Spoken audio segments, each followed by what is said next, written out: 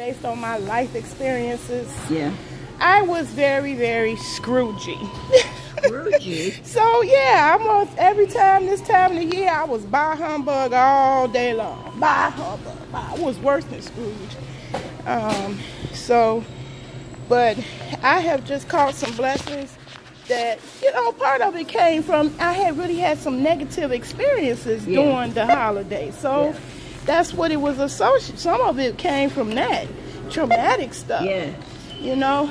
So Yeah, it's I know what you're saying. I had a bar humbug attitude, and all the kids were so materialistic and talking about what you gonna get, and, and I'd be like, you, if you get life, you blessed, okay? Yeah, that's right. Um, I ain't worried about what no marketing company promoting and pushing want to sell you around this time of the year.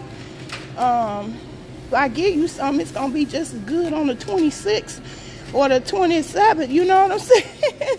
Not this this one day. Yeah, so I was right. I was real Scroogey, and I was getting worse. I found myself getting worse, and that kind of not really a good thing, cause then people really don't want to be around you. so. Yeah, so you figure you better straighten out? Yeah, I had to get that together. so, So I, today, this year, I made a concerted effort to be more festive, or That's you good. know, because ain't nothing wrong with a little Christmas cheer. Right. You know.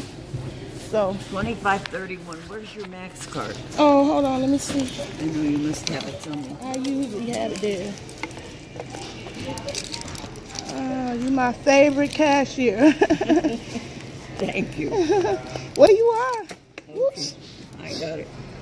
I got them down here. So you can just go, Oh, that's a cute jacket. They got the county market logo on and yeah, everything. you just go right there.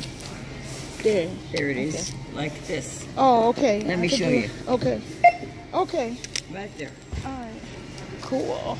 2531.